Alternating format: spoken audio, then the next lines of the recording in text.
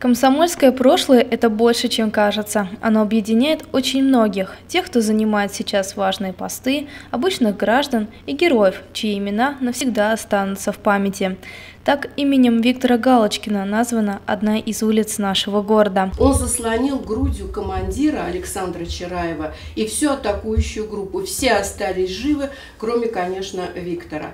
И звание Героя Советского Союза было ему присвоено посмертно. Мы вот в этой э, витрине во второй выложили последнее письмо Виктора, которое он написал своей матери. Она проживала в нашем городе, и вот это письмо вы видите. И таких уникальных и ценных экспонатов собралось на целых три стенда. Здесь письма, партбилеты, значки тех времен и фотографии, связанные с комсомолом.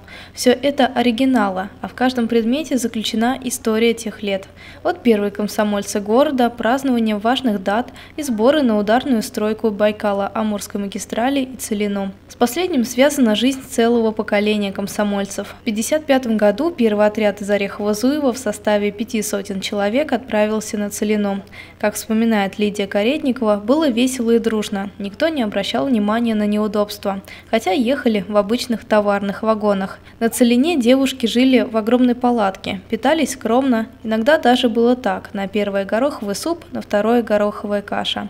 При этом работали много, в 5 утра подъем, а обратно возвращались только к 9 вечера. Девчонки работали на таку, до кровавых мозолей, нам какие-то варежки выдали, а, значит, урожай был небывалый в 50 пятом году и в 56-м.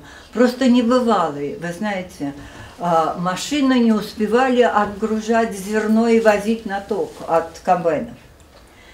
А, девчонки, значит, кто вызвался, кто на комбайне хочет работать, кем работать, капнинщицы.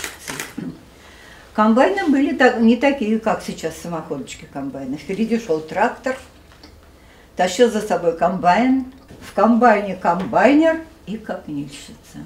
Вот я два года проработала капнильщицей. Только на комбайне намотаешься на этом верху, жарко, пыльно, а, все бы так завязано, здесь шаровары, все, только белки, глаз и зубы, да, а, и думаешь, господи, ну, хоть бы он на минутку остановился.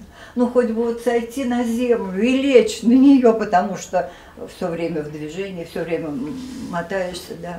И вот если какая-то была поломка, допросит нас Николай Дмитриевич, его звали, мы так радовались, что есть хотя бы 15 полчаса там лечь на землю, вот так. Я, значит, сразу плашмя, и земля так раз, два под тобой, потому что уже все накачалось, да. И также вот этот парнишка, который там за трактор вел.